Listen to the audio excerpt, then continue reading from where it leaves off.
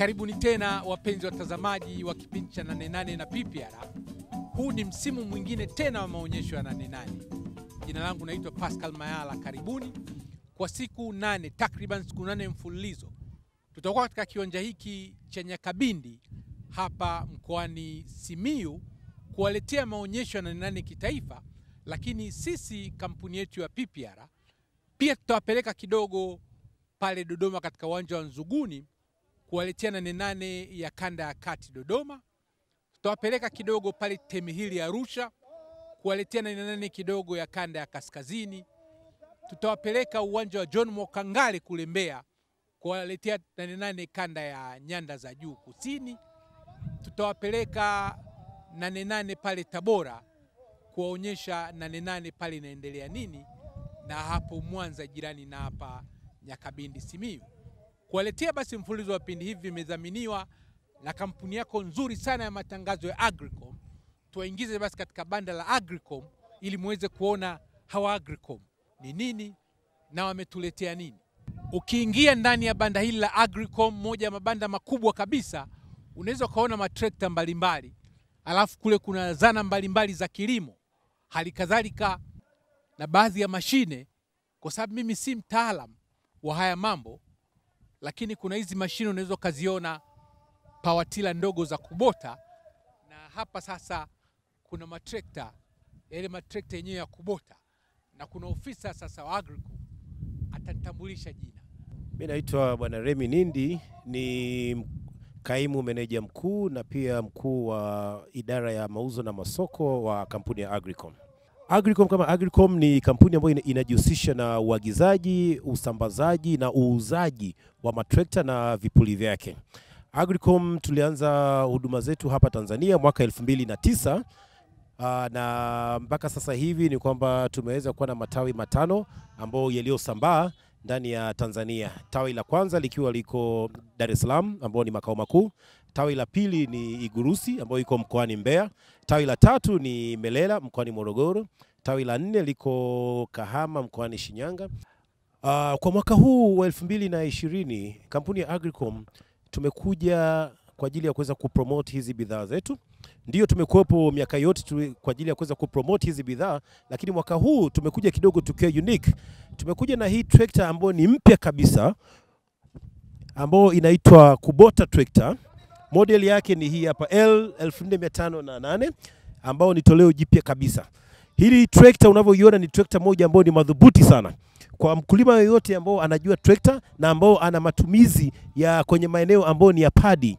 Padi kama wengi tunavyojua ni kwamba inalimwa kwenye maeneo ambayo ni ya maji maji, lakini hili trekta unavyoliona hili, hata kama likizama mpaka wapi, hili trekta ni, ni, ni, ni, ni, ni specific kwa sababu ya yani ni waterproof, lakini tofauti inakuwa na waterproof pia ina four wheel pia kwa hiyo haiwezi ikakwama kabisa kwamba inapokuwa wa, wa, inapokuwa inalima haiwezi ikakwama kwa sababu ina four wheel.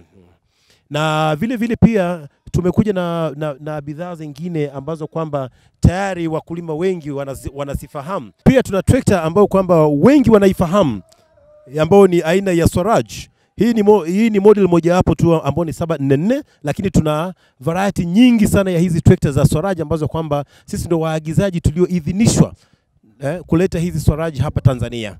Swaraji kama unavyoiona hiyo kwa ukanda huu sisi ndio market leaders, unaona? Yaani bidhaa yetu hii ime- imekubalika sana, lakini kwa nini imeweza kukubalika? Ni kwa sababu ya ubora wa hii trekta kama unavyoiona.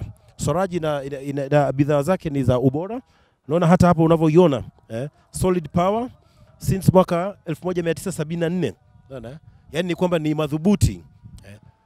Kwa hiyo hii trekta unavyoiona na vifaa vingine vile vile, tuna aina ya majembe ambao kwamba mwisho wa siku haya yanaambatanishwa kwenye hizo trekta hapo kwa ajili ya kuweza kulimia. Kwa hiyo kwenye haya majembe kuna majembe ya aina mbalimbali ambayo yanatumika kwenye hizi trekta, kwenye hizi trekta zetu hizi. Bidhaa nyingine ni hii Kubota, Kubota Power Tiller.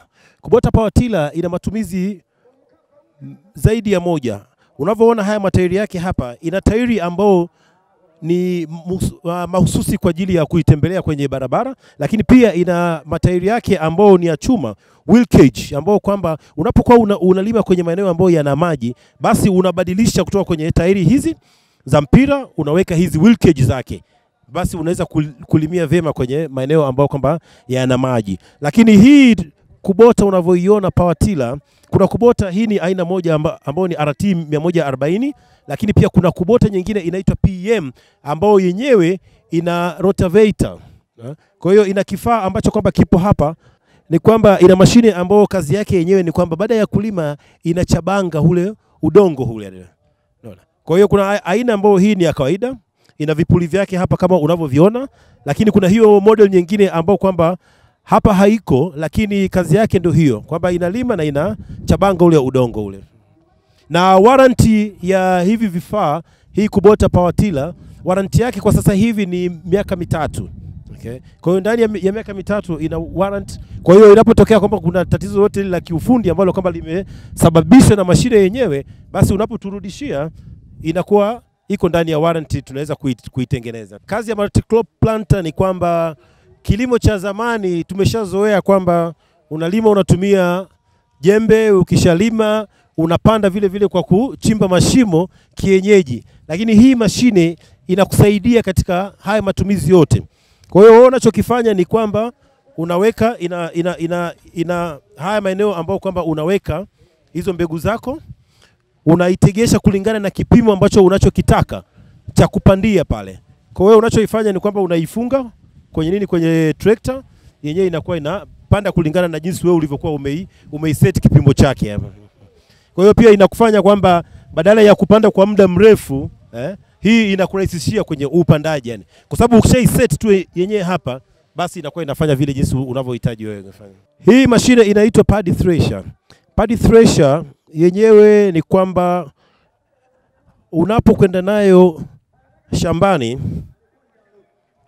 unai attach na trekta hapa okay?